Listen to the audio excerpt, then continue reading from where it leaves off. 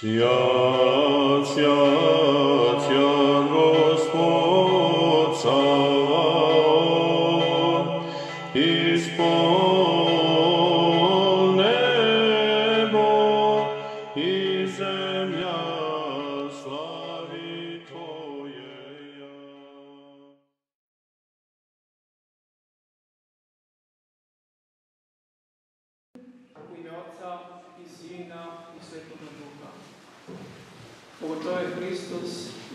je, draga braćo i sestre, tri i pol godine propovedao svoje evanđelje ljudima, tri i pol godine Gospod naš pravi delom i rečju objašnjavao ljudima kako treba da žive u ovom svetu da bi nasledili život večni. Tri i pol godine Gospod povede evanđelje svoje nebeski ustav koji je on donao na zemlju, a koji anđeli žive. Kada je Gospod propovedao, često je govorio u pričama, koristeći događaje iz običnog života i stvari koje su svima poznate, kao što su vino, vinograd, kupolj, seme, sejač. Svi znamo šta je to. Što je Gospod propovedao na taj način da bi njegovi slušalci brdo zapamtili te evangelske priče, a onima koji su imali ljubavi prema njegove reči i želeli da proniknu u duhovnu sadržinu tih priča, on je nasamo objašnjavao šta one znači. Tako apostoli sveti, ugljubive duše, su često kada je Gospod bio s njima nasamo, pitali Gospoda, a Gospode, a šta znači ova priča? Gospod im je tako nasamo objašnjavao jasno značaj tih duhovnih priča. Evo i vi, kao sveti apostoli koji volite Gospode reći njegovu i želite da saznate tajanstveni značaj njegovih priča, dođete na svetu liturgiju, da čujete reč Božju, da čujete tumačenje od episkopa, od sveštenika, evanđelskih priča. I eto mi ćemo po poslušanju reći tumačenje ove današnje evanđelske priče, to jest po poslušanju prenećemo ono što sveti oci rekli o današnjoj evanđelskoj priči o svadbi carevog sina. Svi znamo što je svadba, svi znamo što je car, što je sin, pa da čujemo šta je Gospod teo da kaže današnju evanđelsku priču. Reče preblagi Gospod, carstvo nebesko je kao čovjek car, koji načini svadbu svom sinu. I kada je sve bilo gotovo, on posla sluge svoje da pozovu zvanice. Reči idite, pozovite sve, neka dođu na svadbu. Sve je gotovo, neka izvoli. I sluge, posluše cara, podoše, podoše zvanice. Međutim, zvanice se ne odazvaše. Potom car posla druge sluge. Idite, recite, sve je gotovo, neka dođu na svadbu. Sluge odoše, a neki se izgovaraju. Neko ode svoju trgovinu, neko ode svoje polje, a oni, najgori među njima, izružiše sluge careve i pobiše. Tako se nezahvalno pokazaš. Kada ču car što su zvanice uradile sa njegovim slugama, veoma se razginio i poslao vojsku svoju. Te pobio one krvnike, a grad njihov spava. Potom car poslao druge sluge svoje i rekao, svadba je gotova, zvanice nisu bile dostajne, nego idite na raskršća i pozovite sve, i dobre, i zna, neka dođu da, mi se napuni dom. I sluge tako i učiniše, pozvaše sve i svetoše raskršćima, i napuni se svadbena dvorana gostima.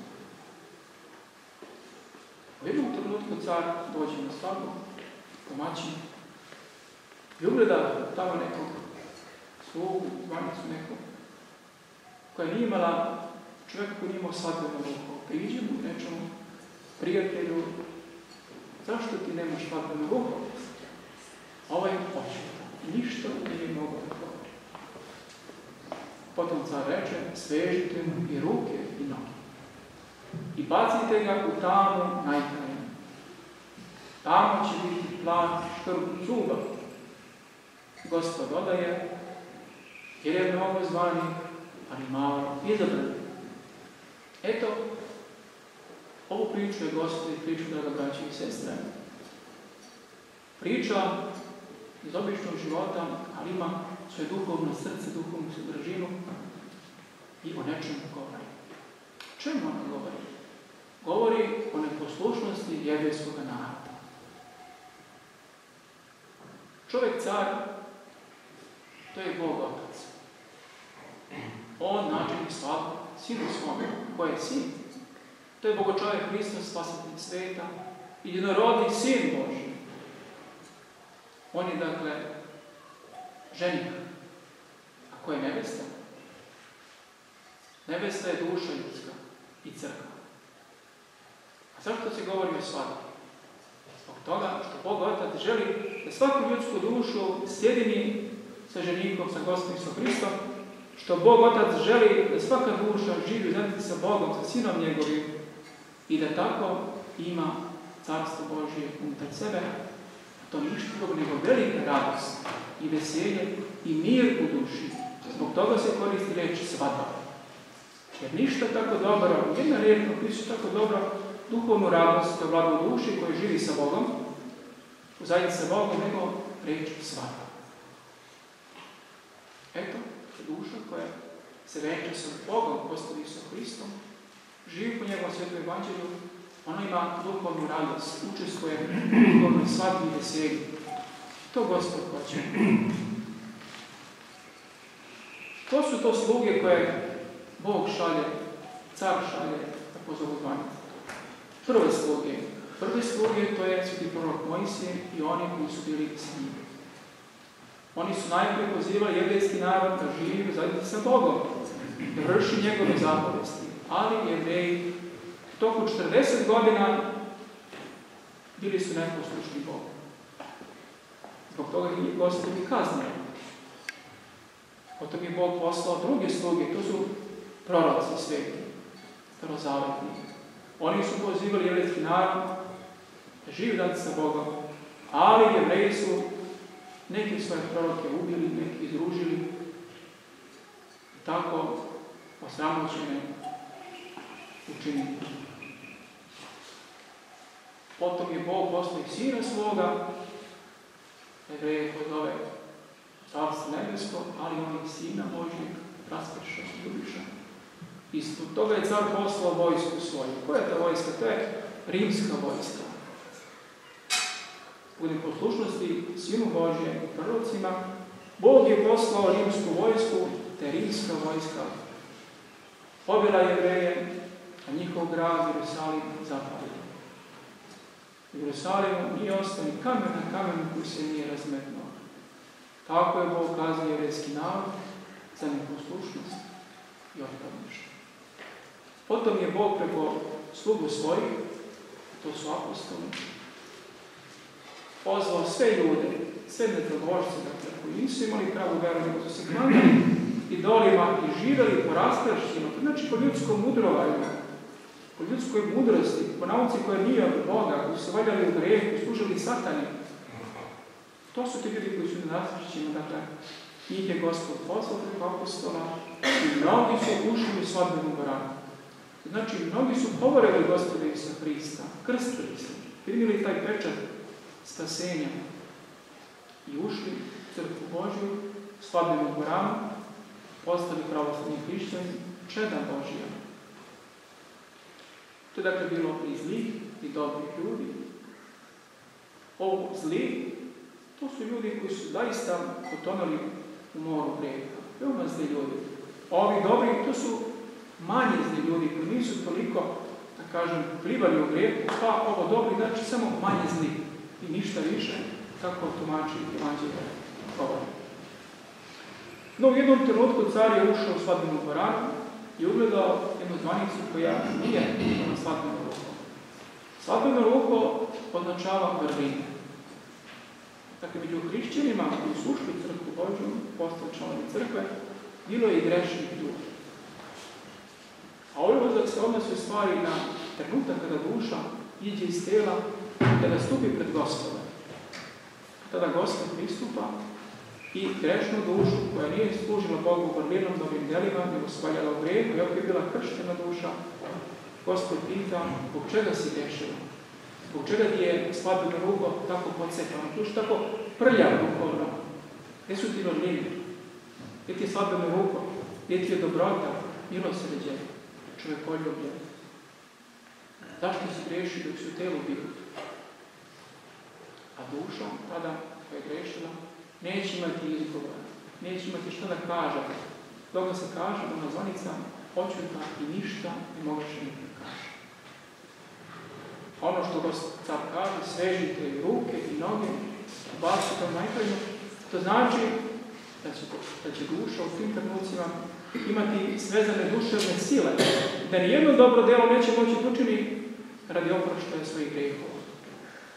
Jer kada duši iz tela nema više vremena za dobra dela, za pokajanje, za molitvu, to ništa više neće pomoći.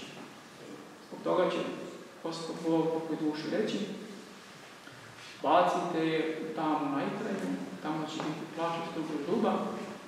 Ovo označava večne muke. Škrb od zuba označava raskajanje. Jer čovjek će se raskajati, ali bit će kasno. Shvatit će što je trebalo da učini, ali bit će kasno.